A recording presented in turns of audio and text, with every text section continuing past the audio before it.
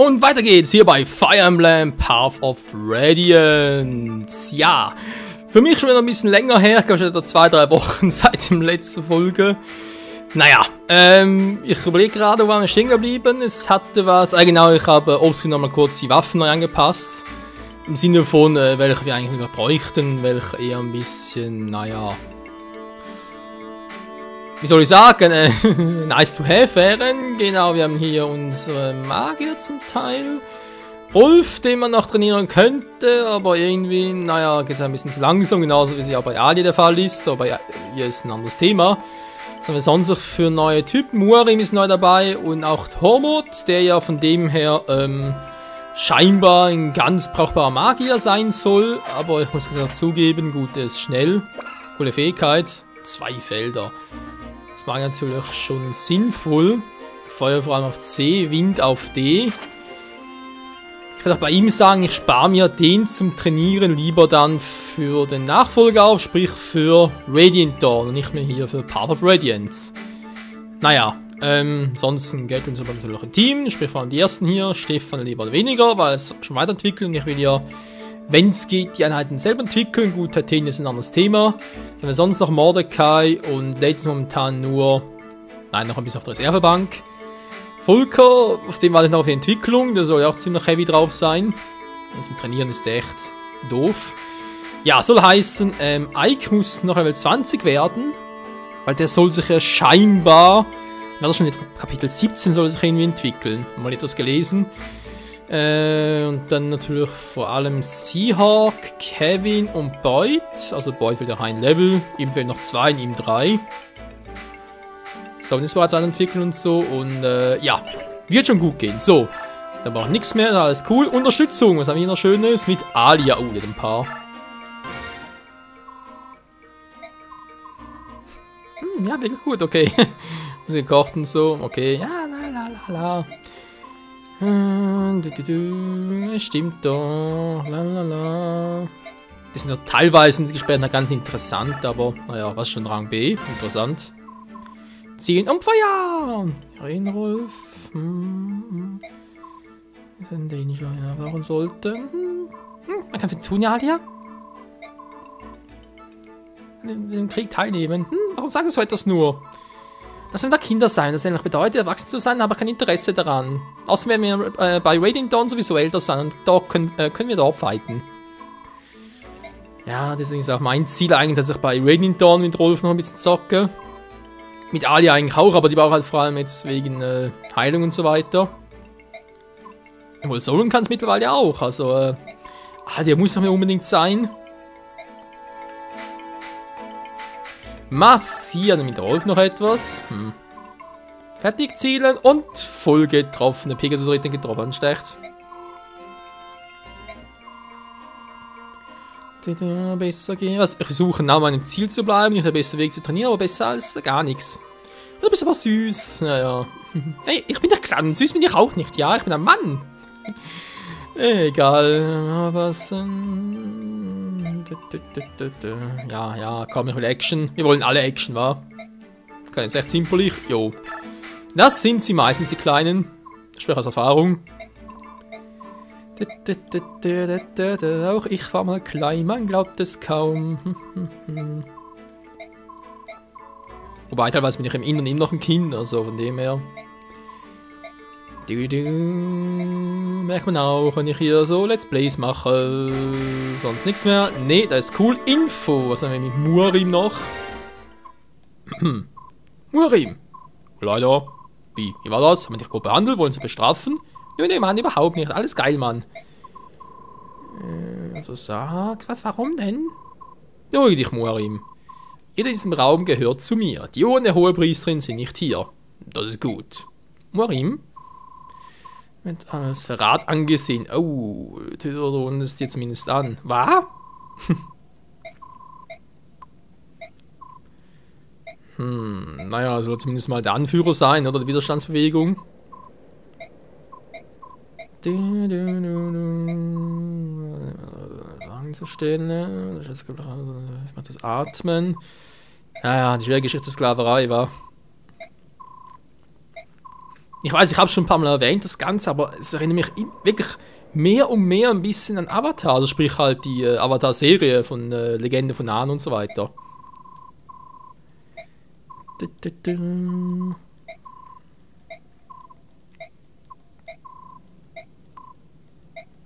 Mhm, mhm. Geht da, nach Ausklamm gehören, weiter am Berg für dich. Kleiner! Das war ja toll.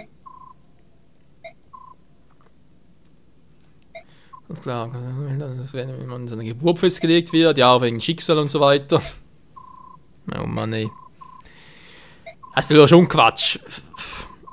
Ich meine, ist ja sowieso so auch das mit dem blauen Blut. Ich meine, hallo, habt ihr schon mal gesehen, die wirklich blaues Blut haben? Das ist einfach nur irgendwie eine Rechtsverdreherei. Beziehungsweise irgendwelche, naja, wie soll ich sagen, irgendwelche Geschichtspunkte oder man so einen Zeitpunkt der Geschichte.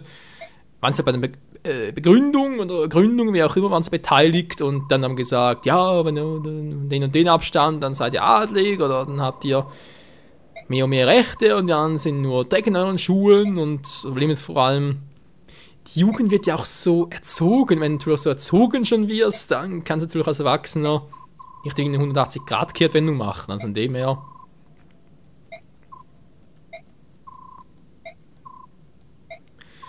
Ah, Mensch, ja, also. Die Aussage vom Ganzen ist natürlich einfach schlicht und einfach jeder ist ein Mensch, der, nee, ich muss, muss ein bisschen korrigieren, Entschuldigung. Jedes Lebewesen und äh, deswegen sollte auch jedes Lebewesen gleichgestellt sein. So. Äh, heißt es Stefan, ja, vorgestellt habe. Warum bist du hier? Schwertanz zusehen, zögern. Äh, hier komme ich ins Spiel, eure Technik, das würde ich gerne wissen. Gibt es vielleicht noch irgendwie ein Schwert oder etwas Besonderes, oder? Na, wieso nicht? Äh, was? Oh, cool. Ja. So, nochmal ganz kurz speichern und dann nochmal sagen, ähm, legen wir endlich los mit Kapitel 16, die Sühne. Ist dies die Villa? Ja, das ist sie. Sie ist wirklich stark bewacht.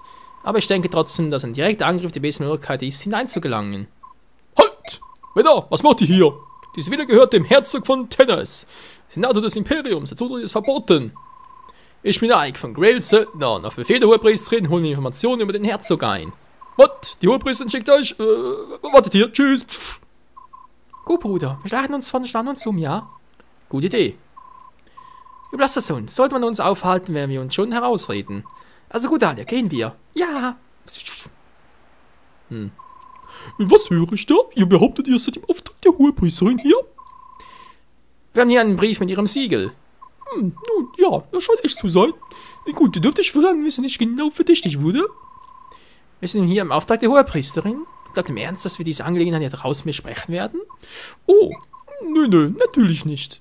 Niemals. Ich will niemals... Äh, bitte kommt doch rein. Oh, Sklaverei, ich? No, no, no, die Hohepriesterin würde mich wirklich zu einer, äh, so einer unzeitgemäßen der Sklavenhaltung anklagen. Oh, oh, oh, oh. Sagt ihr, ihr wisst nichts darüber? Ich habe euch jeden Winkel, jede Ritze in meiner Villa gezeigt. Ich war sehr gewissenhaft oder etwa nicht. Und ihr habt keine Spur, nicht den kleinsten Hinweis auf einen Lagus gefunden. S'il vous plaît? Äh, ja, das stimmt eigentlich. Diese Anschuldigung ist einfach lächerlich, c'est impossible.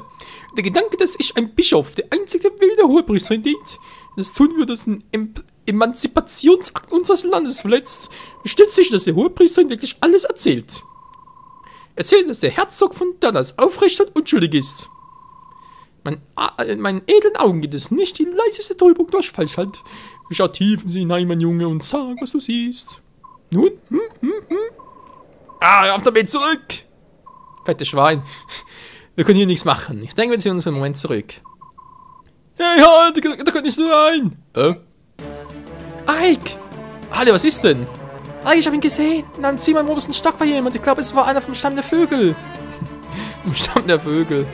Es sah aus, wollte er aus dem Fenster springen, aber er wurde gewaltsam davon abgehalten und ins Zimmer zurückgezogen. Was? Was war dieses Kind? Einer vom Stamm der Vögel, kannst du beschreiben? Hm, hat lange Haare, es ist wie Gold und seine Haut ist so blass, fast durchsichtig. Und seine Schwingen sind strahlend weiß. Stimmt das so, Titania? Ja, ich habe ihn auch gesehen. Oh Mann, einer vom Clan der Sirene sich in diesem Ort aufhält. Die Musik, hey. Die Bücher sagen, dass nur Mitglieder der königlichen Familie der Sirenes weiße Schwingen besitzen. Nun, dann scheint es da noch einen Raum zu geben, den wir noch nicht untersucht haben. Wie sieht's aus, Herzog Tannis? Ihr könnt Kooperieren uns einen Raum zeigen, den ihr irgendwie vergessen habt, oder? Wache! Tötet sie alle! Niemand von ihnen darf entkommen! Ah, das sind also Spielregeln, wa? Ich dachte mir schon, dass das passieren würde. Söldner, es wird Zeit! Grail Söldner mit einer Action! Ach du Scheibenkleister. Hä, rennt er davon? Ist das... Ah, da ist er. Hm. Wer ist denn das? Steve dann. Wie quatsch jetzt den? Das sind Geräusche eines Kampfes. Hm. Wie könnt ihr es wagen, einen Kampf mich auf Olivers Villa zu empfachen? Mein Land doch für eure Frechheit bestrafen. Oh Mann, ey. Okay, erstmal die Karte angucken. Wie sieht's genau aus? Gut, ich habe Volk dabei, ist kein Problem. Äh, äh, äh, äh, bist du Dave dann? Panzerspeer. Da gucken wir einen an. Warten der sonst so drauf? Oh, Hellebardier. Oh, der ist weiterentwickelt, war. Ja, sowieso kein Bock auf Hellebardier, aber der Panzerspeer, den natürlich gerne. Tiftan. Eine besondere Verbindung oder so etwas? Habe ich einen Effekt des Biorhythmus? Naja. Da muss irgendwie ganz speziell strategisch socken. Was eigentlich mit dem anderen ist, der noch irgendwo, der schon weg war. Dieser Olivier. Das ist noch eine Tür. Oh, da muss ich ja vorsichtig sein, Freunde, dass ich dann noch irgendwie reinkomme. Kimarsi, was denn der? Der hat ja nix. Ein Speer mit großer Kraft. Naja. Verteidigung. General Level 6. Aber nicht schlecht. Wer wird sonst seine Freude haben? Zumindest im Schwächen. Okay, den Rest mal gucken. Hm. Naja, ein Stahlbogen, okay, gut, ein Scharfschütze. Sonst waffenmäßig, oh, dann ein Panzerbrecher, muss ich aufpassen. Langschwert, okay, da auch ein bisschen drauf Acht geben. Viele war. Fortuna. Okay. Jetzt kamen die wieder. Ja, okay, gut. Im Großen und Ganzen nichts Besonderes. Kriegen wir hin. Unsere Truppe gestaltet sich wie folgt. Äh, oh, falsch, Entschuldigung. Nee. War schon länger nicht mehr da. Volker muss mit, das ist so. Muss ihn sonst noch unbedingt mit natürlich mal sowen, er ist schon weiterentwickelt. Chill, Stella will ich auch noch ein bisschen Level. Iliana könnte man hier lassen, weil ich lieber Marke dabei hätte. Wolf könnte noch aus dem Fernen noch angreifen, wa? Ja, okay, also sie hier, nimm Volker mit. Oh, toll. Wieso eigentlich nur 1 von 8? Das ist ein bisschen... Hä? Ah, Entschuldigung, das sind doch 11, wa? Scheinkleister. Das Massier hier, weil es schon stark genug ist. Ja, gut levelt, ja gut, das sind noch hier. Äh, Rolf gibt nochmal eine Chance, nehmen wir noch Getry mit. Die unten sowieso nicht. Athene kann auch noch ein bisschen passieren. Ja. Getry kommt nach vorne, ist eh ein bisschen langsamer drauf. Son kann zurückbleiben. Der Rest passt soweit auch. Vielleicht noch so. Ja, passt, war. Ganz kurz hier speichern und los geht's, Freunde!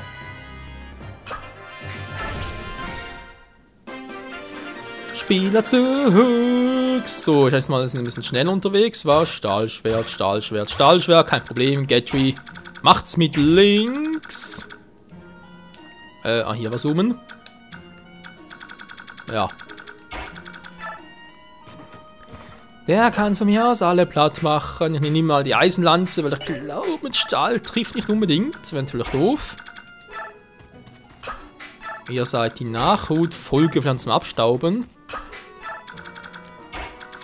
So, und also mal noch zurück. Hier könnten noch ein paar Gegner kommen. Wäre natürlich jetzt saudoof, wenn der irgendwie reinfallen würde. So, also Hauptsache ist, dass Boyd sich, man, sich entwickelt, Kevin auch und den Rest gucken wir mal nach, wa? Wir sind bereits bei Kapitel 16, ey. Das heißt, eigentlich müssen wir nach dem nächsten Kapitel entwickeln. Hm. Ja, noch nicht so sicher. Äh, Alia natürlich auch nach vorne und die zwei lassen noch ein bisschen zurück, war. Wie gesagt, vor allem für den Fall, dass noch etwas kommen sollte. Sind ja eh stark genug. Du, du, du. Viel Spaß mit Getry. Daneben, du Arsch. Getry kann Toll schwächen. Naja, macht ja nicht viel. Sehr gut, sind ein paar schön geschwächt.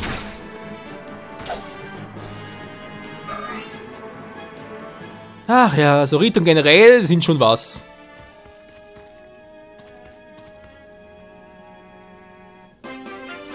Hä? Sind echt alle, die jetzt kommen? Okay, machen wir direkt die mal platt. Das heißt, Stella, hast du mit dem Bogen eine Chance? Natürlich endgeil. Oh, aber sie zieht schon mal gut. Alter, zieht die schon gut ab. Du könntest noch ein bisschen schwächen, war Notfall.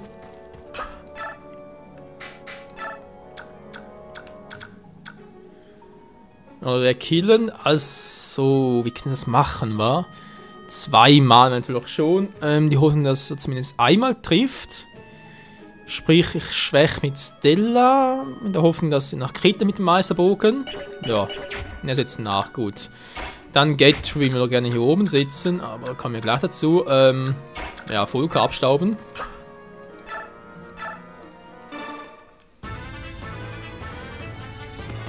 S'il vous plaît, mon monsieur. Thank you very much. Ja, wir müssen Englisch und Französisch miteinander kombinieren, auch nicht schlecht. Rolf. Er hat es ja nicht nötig, war eigentlich, aber mach's jetzt trotzdem mal. Will mal gucken, wie er levelt. So, wie sieht's aus? Naja, 50 ist eigentlich schon relativ viel. Wie sieht's aus? Ja, Hilfe.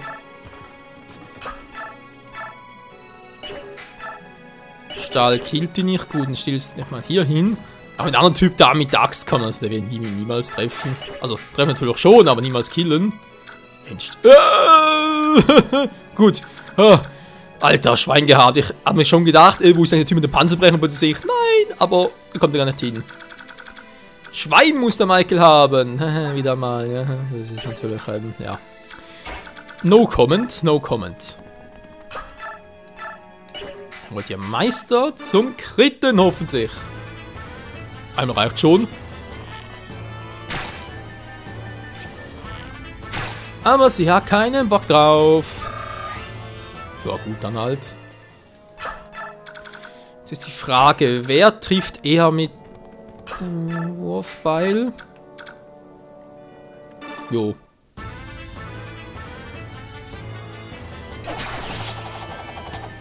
Dann kriegt's eben Kevin und ich hoffe, ich krieg mit ihm noch Level 20. Auf 24. Also wisst ihr, in Fire Emblem Spiel ist normalerweise so, wenn man einen Gegner besiegt, der, ich wollte mal sagen, naja, eigentlich so auf einem ähnlichen Level ist wie man selbst, dann kriegt man etwa 30 Erfahrungspunkte. Ein Gegner, der stärker ist als man selbst, kriegt man ein bisschen mehr. Haben wir vorhin bei Rolf gesehen. Und beim Gegner, der schwächer ist, also zum Beispiel viel schwächer, kriegt man ein bisschen weniger als 30 Erfahrungspunkte und ich meine, es sind vielleicht vier Level. Aber ich finde das vor allem das Verrückte, jetzt sind wir bei Kapitel 16. Das Spiel soll ja auch, also keine 30 Kapitel haben, so viel weiß ich schon. Ja, aber äh, irgendwie etwas stimmt denn da nicht, wenn der, wenn man einen weiterentwickelten Charakter die nächsten Kapitel so lange, dass er irgendwie trotzdem noch aufgeht? Kann mir kaum vorstellen. Mhm. Na, werden sehen, Freunde. Weil sonst kann gut und gern das passieren, dass ich eben jetzt noch zu stark bin und mein großartig trainieren in Arenen und so kann ich ja nicht.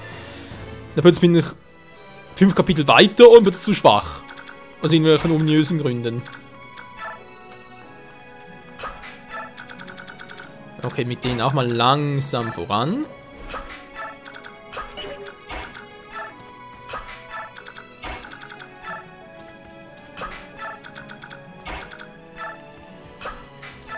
So.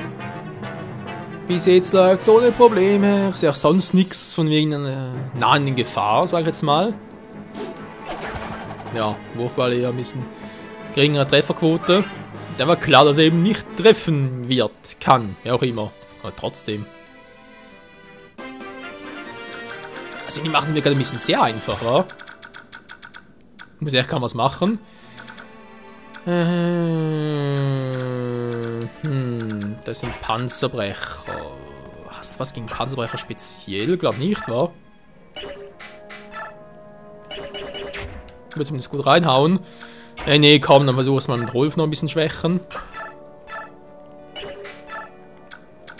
Also irgendwie ist halt trotzdem noch relativ stark, war der Kleine. Volker macht einen Kill oder wie? Mit 18 nach 6 abziehe, Rolf würde sogar machen, wa? Ja, 7 sogar. Der Panzerbrecher ein bisschen seltsam aus, war. Den habe ich aus anderen Fire Emblem Spielen ein bisschen anders in Erinnerung. Aber okay. Und das war's für dich, Kumpel. Tschüssikowski. Eins. Äh, zwei. Ein Panzerbrecher getroffen, wundert mich ein bisschen. So in Level 20 bringen von Entwicklung wird wohl schwierig. Vor allem da er ein bisschen, naja, nicht so gut entwickelt. Oh. Noch stark die Teile, aber. Ja, komm, wir machen wieder hier mit Stella. Meisterbogen und noch genug Bögen. Wenn doch endlich mal kriegen würde, Stella. Du hast hohe Fertigkeiten, dachte zumindest. Ja, Fertigkeiten, Fähigkeiten natürlich, Entschuldigung. Nö, es will aber nicht. Mann, ey. Naja, geht ein bisschen weiter. So, Kevin, äh, der Gatry, Ike, Seahawk.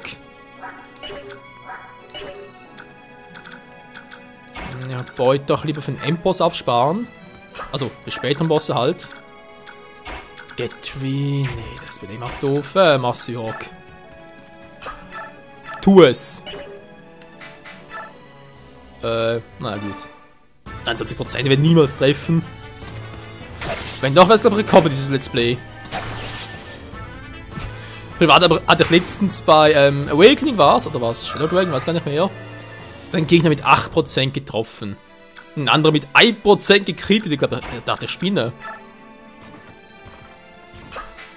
Das ist teilweise eben noch so. Die ganze Prozentualchance schon ein bisschen sehr, sehr, sehr crazy sind. Aber wir hoffen wir, dass das Ganze bei Fire Emblem Fates, also sprich 14, wenn 3D was dabei kommen wird, ein ähm, bisschen, ein bisschen zumindest besser geworden ist. Ich glaube, wir gehen mal weiter, wa? Wenn, wenn noch jemand kommt, von mir aus. Hä? Da kam keiner? Den Handlocken, wa? Kurz ein Magier mit Feuer, also. Ja, wisst ihr was, machen wir anders. Ähm, was soll ich hier unten? Scheiße. Äh, Get wie viel hast du? Uff, noch 5 Resistenz, alter Schwede.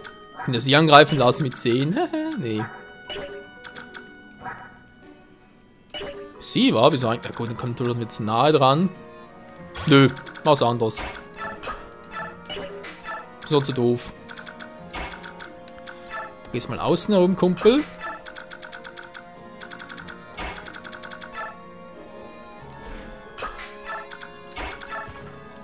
Ups. Und wir stellen uns alle hier hin. Ich weiß, ich bin sehr, sehr vorsichtig. Aber ähm, äh, ihr erinnert euch noch an den guten Riss, was damals passiert ist, dank dem schwarzen Ritter. Und das äh, mir ihm noch nahe. Ich fand das Spiel mich so verarscht. So grausam verarscht. Ich weiß, es war episch und so weiter und irgendwie finde ich es ja auch geil, dass es noch gekommen ist, aber ähm, die Art und Weise, wie er Reels geplättet hat, das hätte nicht sein müssen. Vor allem ohne Vorwarnung. Hallo, oder bist du, bist, stehst im Weg, tschüss. Trotzdem 7, naja. Mann, ey, die kriegt einfach nie. Was ist mit ihren Fähigkeiten los? Die echt so schlecht? Äh, okay, Magier mehr XP. Alter, was Werte. Na gut, Fähigkeiten war es jetzt wirklich nicht so besonders. Fortuna Major. Ah, ne, war Harry Potter. Schleichwerbung. Keine Absicht. So, Freunde, wenn wir gleich sagen, bei einem Part, ich stelle ganz kurz so hin. Und dann gucken, was er so drauf hat.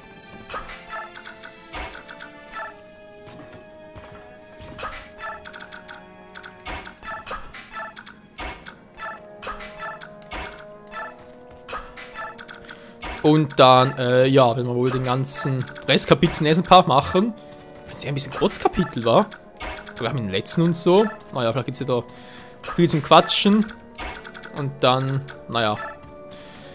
Bin ich vor allem auf Kapitel 17 gespannt, wenn es dann eigen entwickeln soll. Scheinbar. Wie gesagt, ist noch ein bisschen das, was ich gehört habe. Aber nichts Definitives. So, Sowen, du darfst. Magiefort haben wir alles nicht, aber man muss sowieso noch Feuer trainieren, von dem her ähm, passt das und bin gespannt, was jetzt passiert. So, wie stark bist jetzt wirklich?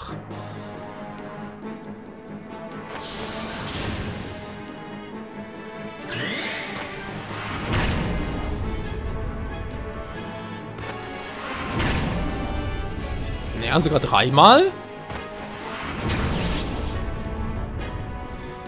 Alter Schwede, uff. So ein unser Meistermagier. Okay, Meisterweise, aber von mir aus. Jo, war geil. Ich wusste, da kommen noch ein paar. Okay, Leute, in diesem Sinne, vielen Dank, wenn wir mal zusehen. Nächstes Mal geht es hier weiter mit Sowen, unserem weisen Weisen. ja. Äh, muss man gucken, Feuer, Blitz muss man noch trainieren. Und dann hoffentlich kriegen wir bald schon die nächste Stufe von Elfenwind. Also was von Akkus, wie so eine Art. Und dann, tja, mal gucken, wie es weitergeht hier bei Fire Emblem Path of Radiance. Bis dahin, tschüss.